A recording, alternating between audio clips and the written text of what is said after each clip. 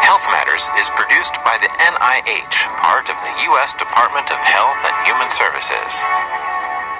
That's Rafa and Hazel. Hazel is 10 months. And she's already, she got her all dirty. Hey Hazel, Rafa be nice. O'clock and 68 degrees after a warm day today. Rafa, Still another warm one ahead tomorrow. We'll check the forecast from NECN coming Stop up. Right now, we'll look at your ride from the Ira Mazda Traffic Center. The expressway southbound still very heavy from the tunnel to Savin Hill. Northbound, you're slow from Parkway to Neponset Circle. 93 northbound is backed up from Bedford to 128. 128 southbound, an accident blocking the left lane right at Propeller Road as you backed up to 2A in Lexington. Top local stories. Voters go to the polls today across the state. Big races uh, for mayor in some cities. And now that we have our new congressional map, we have our first race. Details in two minutes after Fox News.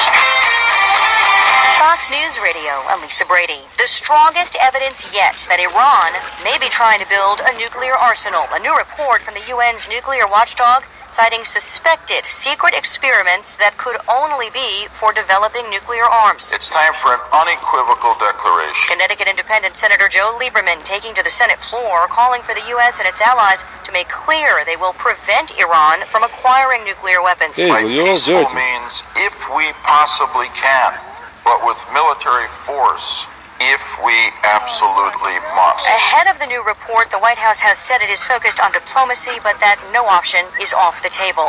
It's not business as usual today for Penn State football Yeah. coach Joe Paterno. You know you guys have a lot of questions, and I was hoping I was going to be able to answer them today. Besieged by reporters as he left his son's house months. for practice after the university She's canceled 10 its months weekly news only. conference amid the And child she's sex case 16. Against Paterno's former assistant coach Jerry Sandusky. Two administrators has accused of failing to report suspected abuse and lying to a grand jury. Paterno's son denies a report of resignation negotiations. He says for now, his father's planning to coach on Saturday. A recent battle over collective bargaining rights resurfaces on Ohio's ballot today. Fox News Radio's Jennifer Kuiper with this live. Lisa, unions want to repeal a law limiting collective bargaining, but Governor John Kasich says it's needed Hazel, to help local governments balance budgets. Democratic Congressman Dennis Kucinich calls the law an attack on public workers. How do you restore the economy by telling people to take a cut in wages? That's antithetical. Republican Senator Keith Faber says if the law is rejected, expect job cuts. probably relatively soon in a lot of local communities all across Ohio. Uh, Ohioans are also voting on whether the state should opt out of a federal health care mandate. Lisa?